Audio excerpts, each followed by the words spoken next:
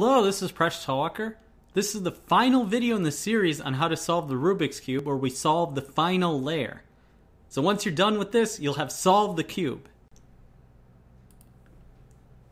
Alright, we have two layers of the cube solved, and now the task is to solve the final layer. The first step in this process is to create a yellow cross.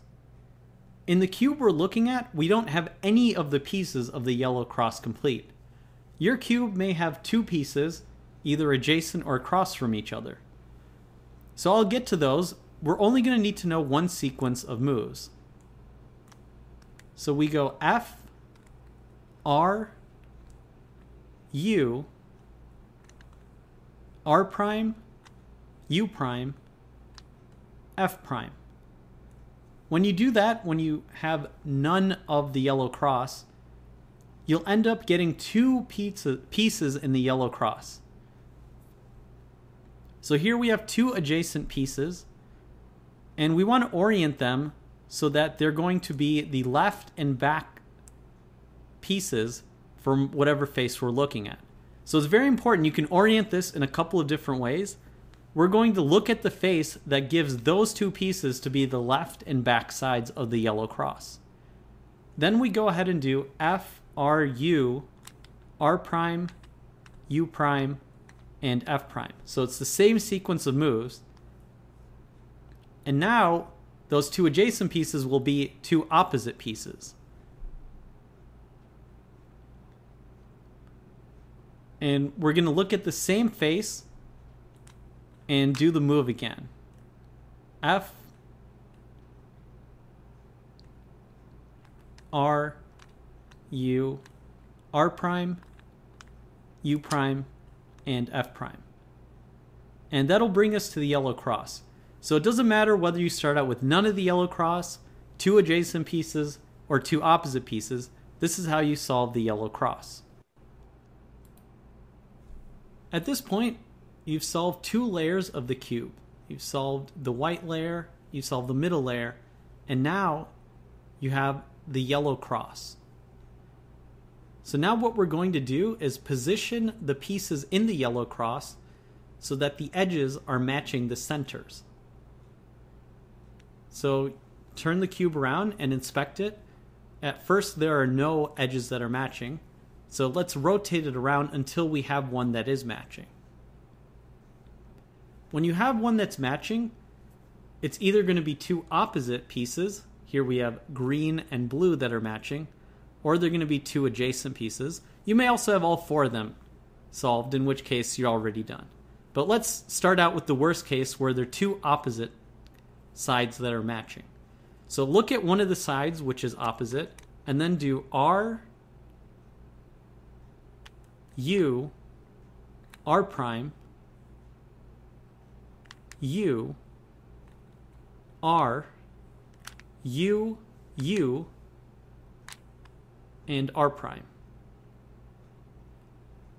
And what this will do is this will bring us to the case where we have two adjacent pieces that are matching. And finally, now in this case, we want to transpose the two that are not matching.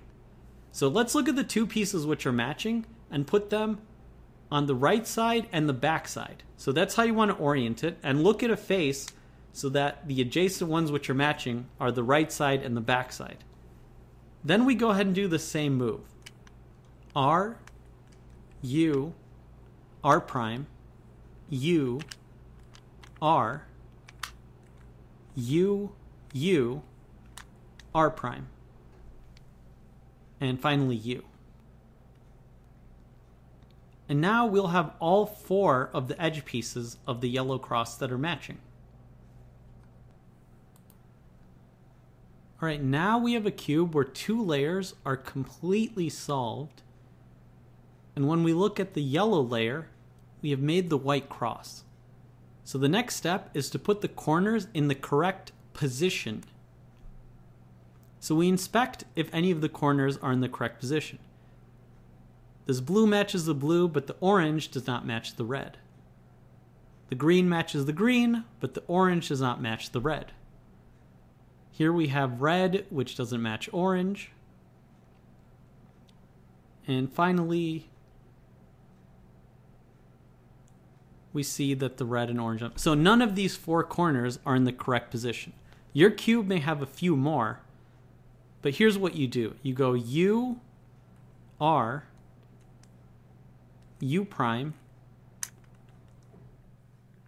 L prime, U, R prime, U prime, and L. So this will bring at least one of the corners into the correct position. And here is one of the corners. So here we have green and orange that's in the correct position. So the remaining corners are not in the correct position. So we're going to do the same move again. Put the correct corner in the upper right of the face you're looking at. So we go U, R, U prime, L prime, U, R prime, U prime, and L. And this will move the other corners around. So it doesn't matter whether they're in the correct orientation for now. We see that, all right, none of the corners have actually been moved to the correct position. So we go ahead and do the move once more. U, R, U prime, L prime, U, R prime, U prime, and L. And now we actually have put all of the corners in the correct position. So some of them are not in the correct orientation. That's what we'll solve in the next video.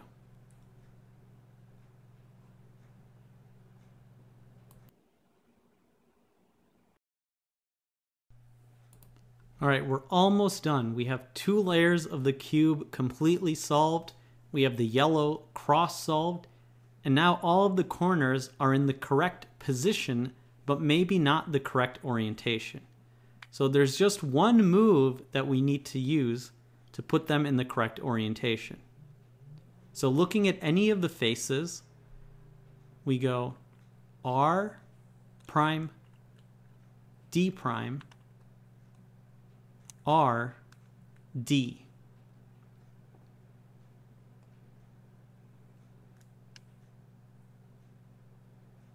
And we look to see if that yellow is at the top. Since it's not, we do the same move again. We go R prime, D prime, R, D. And now this yellow is at the top.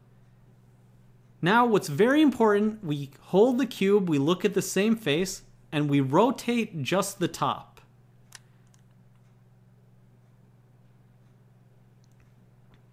Now we repeat the same sequence. We go R prime, D prime, R, D. Yellow is not at the top, so we do it again. R prime, D prime, R, D. Yellow is not at the top, so we're going to have to do this two more times. R prime, D prime, R, D. And finally, once more, R prime, D prime, R, and D. And now, when we rotate the cube in the top layer, we have two of the corners that are in the correct position and the correct orientation.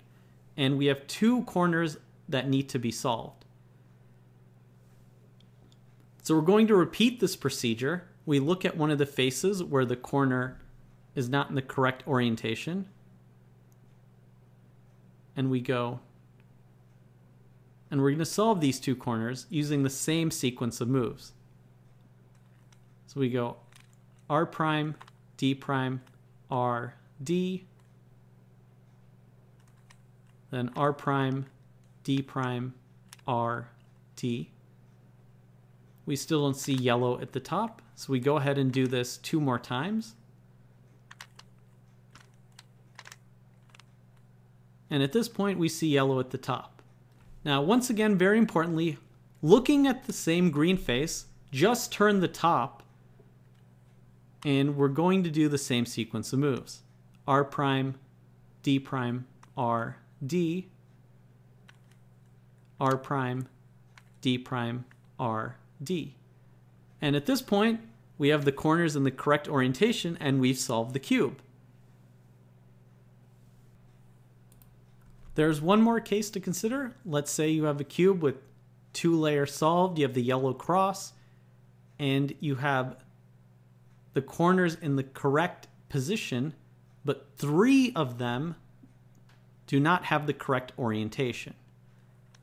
So we're going to do R prime, D prime, R, D, and we keep doing this until we see yellow at the top. So we go R prime, D prime, R, D. We still don't see yellow at the top. So we go ahead and do R prime, D prime, R, D, R prime, D prime, R, D. And now yellow is correctly positioned at the top. This corner is in the correct orientation. So holding on to that face, we turn just the top, and we're going to do the same sequence of moves over again. So R prime, D prime, R, D, R prime, D prime, R, D. So we don't see yellow at the top, so we're going to need to do this same sequence moves two more times. R prime, D prime, R, D, R prime, D prime, R, D. Now we see yellow at the top, and we once again just turn the top. We hold the face that we're looking at, and we're going to do this sequence of moves a few more times until we get that corner in the correct orientation. So it's very important that you do these moves carefully and slowly. I'm going to do them faster because I know I've been doing it many times. But eventually you will get yellow at the top, and you rotate the top layer, and you solve the cube. I hope you like this entire series. Please subscribe to my channel. I make videos on math and game theory. You can support me on Patreon Catch me on my blog, Mind Your Decisions, on Twitter at Presh and you can get my books listed on my website.